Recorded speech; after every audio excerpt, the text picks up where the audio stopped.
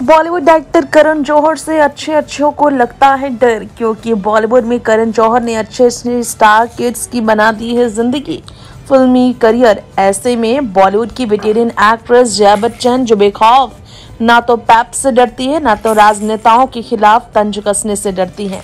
उन्होंने करण जौहर की भी लगा दी थी क्लास। जी हाँ करण जौहर पर जमकर भड़कती नज़र आई थी जया बच्चन एक बार। खुद जया ने खुलासा किया कि कैसे वो भड़की थी। और करण ने भी बताया था कि जया बच्चन उन पर इसलिए भड़की थी क्योंकि एनर्जेटिक दिखने की कोशिश में वो माइक हाथ में रखकर भी चिल्लाते। और जया कहती, तुम्हारे पास माइक है, फिर भी तुम इतना ज़ोर से चिल्लाते हो।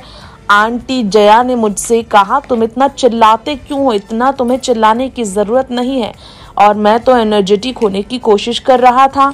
और ऐसे में जया ने उन्हें बुरी तरह से गुस्से में लताड़ा था।